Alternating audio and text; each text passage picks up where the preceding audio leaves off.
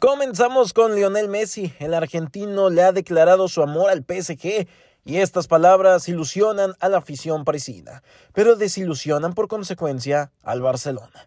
Tuvimos que salir de Barcelona de la noche a la mañana y sufrí mucho por ese primer año. Fue difícil, pero hoy disfruto todo, incluido el fútbol.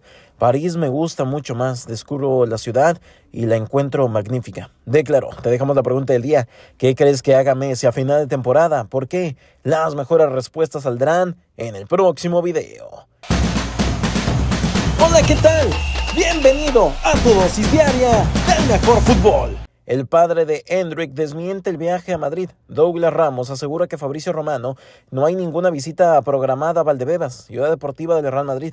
De momento no hay ningún viaje programado, no he concedido ninguna entrevista y nunca he hablado sobre ningún viaje a Madrid en las próximas semanas. La decisión es suya. El que le ofrezca el mejor proyecto y llegue a un acuerdo con el Palmeiras se llevará al chico. No tiene preferencias, solo quiere jugar en Europa y jugar la Champions League, aclaró el padre de la joya brasileña de 16 años. Christopher fue preguntado si Kylian Mbappé es el dueño del PSG, en referencia a que es el que toma las decisiones del equipo, y esto fue lo que dijo. Él representa el proyecto del PSG, no hay duda al respecto, pero cuando fijo que encara el proyecto, no me refiero a que esté por encima del club, es falso que esté por encima del equipo. Kylian está a la par con otros jugadores, está al mismo nivel que Messi, que es el mejor jugador de la historia, también está al mismo nivel que un jugador como Neymar, confesó el DT del Paris Saint-Germain. Luis Suárez, delantero uruguayo, jugará su último mundial y está sin equipo desde que se despidió del Nacional a principios de este mes, pues bien el jugador de 35 años ha rechazado una oferta de un equipo brasileño porque tiene la intención de jugar en Estados Unidos.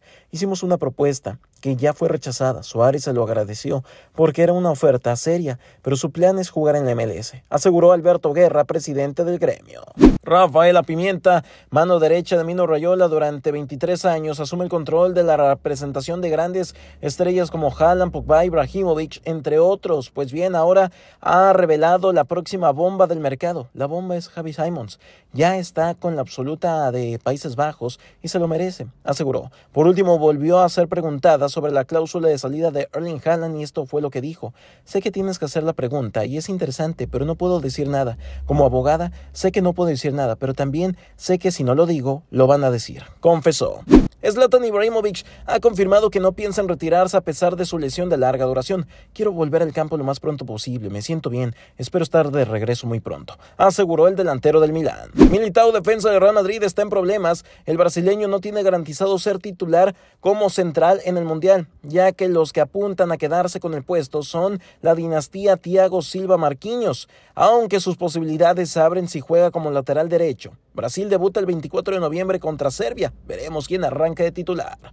Julian Lopetegui habló sobre el contrato de Adama Traoré, que termina en verano.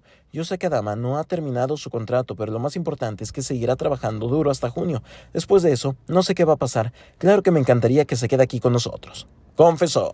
Marota, presidente del Inter, ha vuelto a dejar claro que están confiados en que Skriniar renovará. Soy muy optimista con el Milan Skriniar. Renovará su contrato. Estamos confiados. Aseguró. El futbolista ya tiene sobre la mesa un contrato largo que tomará la decisión final de temporada. Terminamos con el partido de Irak contra Costa Rica. Este encuentro tuvo que suspenderse por un tema de pasaportes que impidió que Costa Rica viajara hasta Barça, Irak. La razón es que el gobierno iraquí quería sellar los pasaportes de los jugadores y esto no fue permitido. Estas fueron las mejores respuestas del video anterior. Trajo para ti Brandon Ambris. Sígueme en Instagram, Brandon-Ambris. Hasta la próxima en Adictos Fútbol. No olvides suscribirte a nuestro canal.